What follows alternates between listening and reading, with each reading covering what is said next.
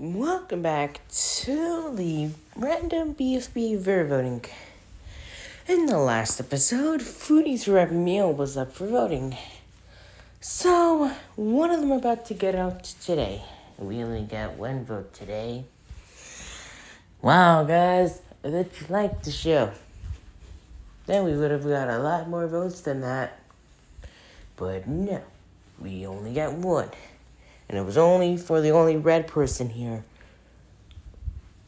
Mr. Guitar. So, Mr. Guitar, you're out.